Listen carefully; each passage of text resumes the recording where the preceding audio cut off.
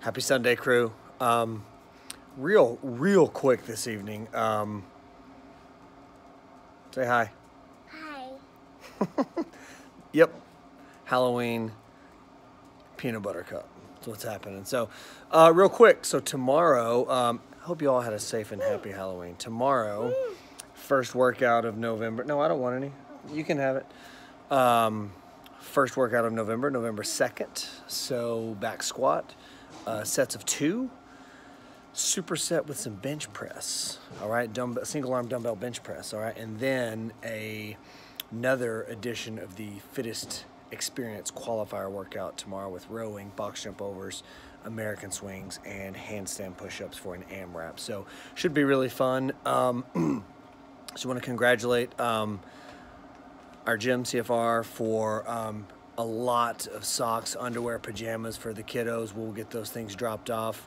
The fall apparel order has been sent in. I'll let you guys know when that's placed. After it's placed, it's usually about two weeks or so. Um, generally, two weeks or so. Could be a little bit longer, but the goal is before Thanksgiving. So I know a couple of you have asked, and I haven't been able to give you a decent answer, but that's what we're shooting for is before Thanksgiving break. So um, give us a few weeks on that. One more thing. Um, oh, I feel like it was important. Maybe not important enough for me to remember. But, anyways, guys, you guys that are doing the qualifier WODs, um, great job. You guys that are doing the qualifier WODs but not scoring them, also great job. Uh, go Cowboys, CeeDee Lamb. Hey, show them your t shirt. Cowboys fans around here. What's your t-shirt say? Go pie. Say go no go potty? No, it says go Dallas Cowboys. Say go Cowboys.